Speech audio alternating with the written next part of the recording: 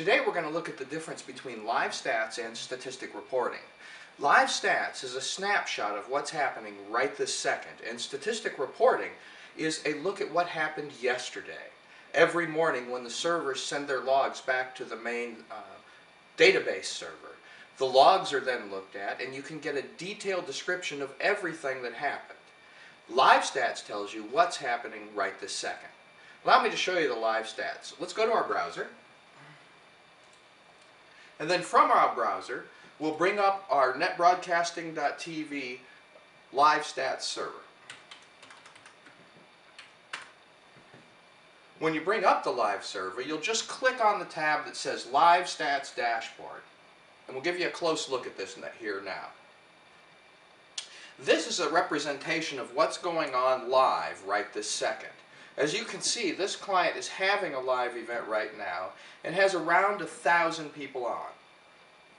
There is also a graph next to the live stats number which gives you a running show of what's happening on there. By this graph, it's easy to see when they turned on the live stream.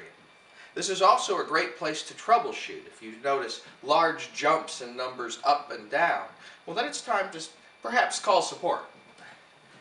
The second type of streaming that's done on the live stats is your on-demand streaming. And by on-demand, I mean a pre-recorded item that is placed on the server and then is played. The on-demand numbers will usually be lower than the live streaming numbers, but it's very interesting to look at to see how many people are watching your files at any given moment.